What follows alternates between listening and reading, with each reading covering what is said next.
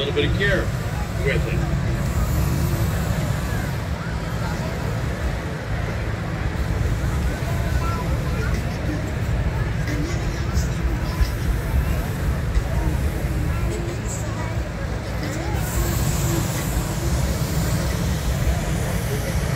So again, we're not actually going to fly away today.